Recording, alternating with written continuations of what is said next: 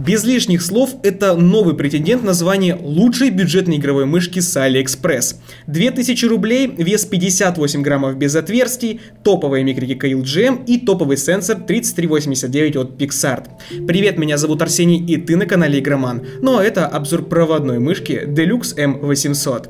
Поехали! Множество крутых игровых девайсов мы прямо сейчас разыгрываем в нашей группе во Вконтакте, и эту мышь мы тоже разыграем. Участвуй в конкурсе, подписывайся на наш канал, группу во Вконтакте и мой инстаграм и выигрывай крутые призы. Условие максимально простое, обычный лайк. Ну и хочу выразить огромную благодарность тем, кто уже поставил лайк под этот ролик. Для нас это действительно много значит. Спасибо. Ну и проверить актуальную стоимость Deluxe M800 вы можете прямо сейчас, кликнув по ссылке из описания. По комплекту поставки и скорости доставки все аналогично беспроводной версии версии. Мышь доехала довольно быстро, ну а комплект очень скромный. Лишь сама мышь и инструкция по эксплуатации. И предлагаю не затягивать видео, а сразу же рассказать про начинку. В основе мышки расположился топовый сенсор от Pixar. Pixar PMW 3389. Это одно из флагманских решений до сих пор, а учитывая стоимость мышки в 2000 рублей, это чуть ли не идеальный выбор. Смысла демонстрировать тесты на срыв сенсора я не вижу, ведь это действительно флагманский датчик, которого хватит абсолютно абсолютно всем. А теперь присядьте, ведь китайцы наконец-то реализовали возможность менять высоту отрыва этого сенсора в софте. Да, наконец-то функционал этого сенсора не ограничивается только его техническими показателями. Правда, вот значения всего лишь два. Это высокий лот и низкий лот. По ощущениям, низкий показатель составляет порядка 1 мм, а высокий чуть больше полутора. И сразу же про основные микрики. Тут стоят ну очень редкие красные KLGM с ресурсом в 60 миллионов кликов. Тактильно они мне очень понравились и немного напомнили TTC Gold только на минималках. Клик очень яркий, четкий и выразительный.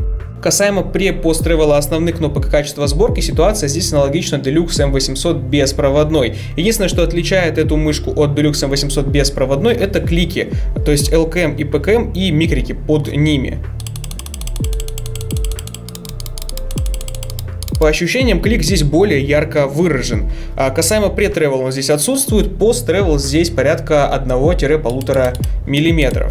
То есть он вот здесь все же небольшой есть, но опять же это можно списать на особенность строения, так как кнопки у нас отделены от корпуса. Side travel у нас есть, но он совсем незаметный, порядка полумиллиметра. По боковым клавишам, нажимая на боковую панель, ее также можно продавить. Нажимая на верхнюю панель, также продавливается кнопка DPI, но при этом никакого хруста и люфта нету. Внутри мышки ничего также не дребезжит.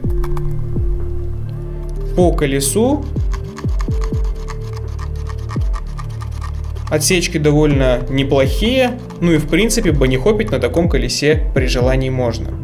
Единственный явно недостаток начинки это боковые тактильные микрики от LXA, но если вы с ними все же сможете смириться, то в остальном начинка Deluxe M800 хороша. По сборке тоже есть нарекания, так как боковую пластину вы все же сможете продавить. Но опять же, мышь весит довольно скромно, и толщина пластика тут минимальна. Вот и ответ на вопрос. Удивительно, но и вес этой мышки полностью соответствует заявленному. 58 граммов ровно. При этом всем напомню, что эта мышь не имеет ни одного отверстия в корпусе tempo. И весовой баланс. В отличие от беспроводного собрата, он тут идеальный. Мышь никуда не перевешивает и не заваливается. В общем, топ. По кабелю это хороший и в меру гибкий паракордоподобный шнур. Докупаете кабеледержатель и при игре напрочь забывайте про то, что Deluxe M800 у вас с проводом. Кабель легкий и податливый, даже несмотря на небольшой эффект памяти. К слову, сама оплетка довольно тонкая. А вот где и есть явно недостатки, так это внизу устройства. Тут все аналогично беспроводной Deluxe M800DB Wireless. Ножки довольно тонкие, из-за обычного черного тефлона, а ножка вокруг сенсора и вовсе отсутствует. К минусам можно записать и не самую яркую подсветку. Все опять же аналогично беспроводному собрату. Все же два светодиода не могут обеспечить достаточно яркости сразу двум зонам подсветки. Ну и качество пластика. Скажем прямо, он далеко не самый премиальный, но при этом всем и отвращения он не вызывает. Бюджетная мышь, что еще сказать? Сам пластик у этой мыши матовый, именно поэтому отпечатки пальцев он на себе не особо-то и собирает, а вот боковые пластины выполнены из текстурированного матового пластика. Это нужно в первую очередь для того, чтобы обеспечить цепкость между рукой, точнее вашими пальцами, и непосредственно боковой панелью. Но на практике это работает не совсем так.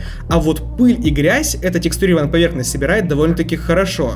Форма, размеры и типы хвата такие же, как и у Deluxe M800 DB Wireless. В общем, хорошая копия Razer Viper, которая подойдет идеально для средней руки под пальцевые, когтевые или гибридные хваты. Ладонный будет удобен для небольших рук с ладонью менее 17 см в длину. Под мой гибридный хват мышь зашла на ура. Наиболее удобное расположение пальцев это 1-2-2. Софт аналогичен DB Wireless и по функционалу, и по внешнему виду. Туда лишь добавили возможность регулировки высоты отрыва мыши от поверхности. В общем, в большинстве аспектов проводная M800 повторяет беспроводную версию. Только по начинке, весу и цене она значительно лучше. Идеально ли эта мышь? Конечно же нет. Мне не понравились боковые кнопки, продавливание левой стороны и не самая яркая подсветка. Да и тефлоновые ножки хорошо было бы со временем заменить. Но стоит ли эта мышь свои 2000 рублей и могу ли я рекомендовать ее к покупке? Однозначно да. Ведь где вы еще найдете ультралегкую мышь без отверстий, с топовым сенсором, прекрасными основными микриками и паракордовым кабелем за 27 долларов? Долларов. Правильно, только по ссылке в описании, и это будет Deluxe M800. Задавай свои вопросы в комментариях и рассказывай про свой опыт эксплуатации там же. Ну а я с тобой на этом прощаюсь, покупай правильные игровые девайсы и увидимся уже совсем скоро в следующем видео.